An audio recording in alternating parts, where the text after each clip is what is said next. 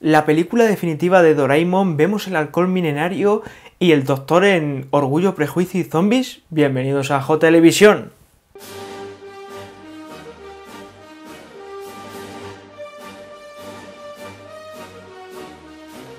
Por quinta semana consecutiva, en Japón sigue siendo número uno en taquilla la película de Doraemon, Stand By Me Doraemon. Y os preguntaréis, ¿cómo una peli de Doraemon puede tener tanto éxito si todos los años hacen películas de Doraemon? ¿Qué novedad tiene esta peli?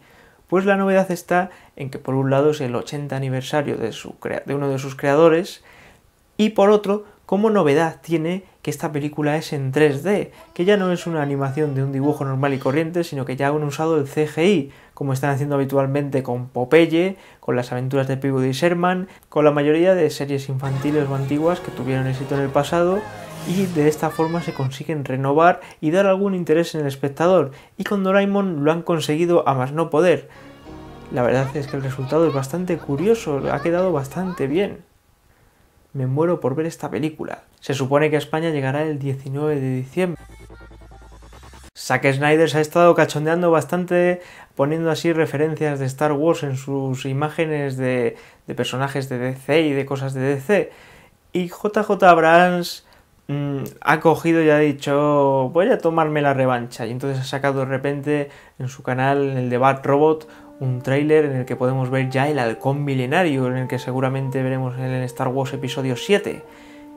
El tráiler es bastante épico, aunque de repente te encuentras con una cosa rara en el halcón milenario. Y esa cosa rara es ni más ni menos que el Batmóvil.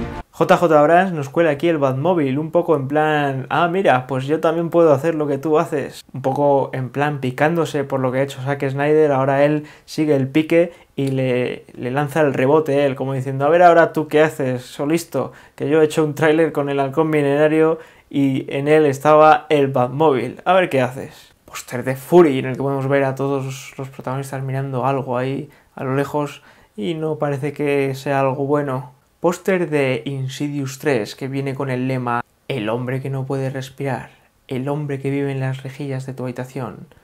Le oí decir tu nombre anoche, le escuché en tu habitación cuando no estabas. Póster de la nueva película de Drácula, protagonizada por Luke Evans, que podemos ver que se está convirtiendo aquí en un montón de murciélago. Póster de Meryl Street, caracterizada como una bruja en Into the Woods, o al menos parece una bruja la película esta lo que hará será adaptar cuentos de los hermanos Grimm, así que no es mucha novedad.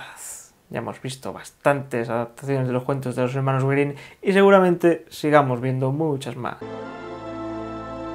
Fox, por fin, después de tanto tiempo teniendo en stand-by a Deadpool, le ha dado la luz verde, le ha dado la oportunidad de hacer su película, de ir hacia adelante y le ha dado una fecha de estreno, el 12 de febrero de 2016. Así que si se parece la película a lo que vimos que se filtró de material de prueba, se nos espera una película acojonante de Marvel. En cuanto a Ryan Reynolds aún no está confirmado que vaya a ser él, pero de momento todo el mundo cree que sí. Pese a la mala película que era Abraham Lincoln Cazavampiros, parece ser que el escritor de esta que hizo Orgullo, Prejuicio, Zombies, parece que también será adaptada a esa novela y encima fichan a alguien grande, que es ni más ni menos que Matt Smith, conocido por ser uno de los doctores en la serie de Doctor Who. Es una pena que fichen a este actor porque no pienso ver esa película y me va a perder una seguramente aceptable actuación de este actor, pero es que no me interesa nada una película que lo que hace es coger un, una historia antigua conocida y ponerle zombies. No le veo sentido. Para más noticias de cine, suscríbete al canal porque no hemos reparado en gastos.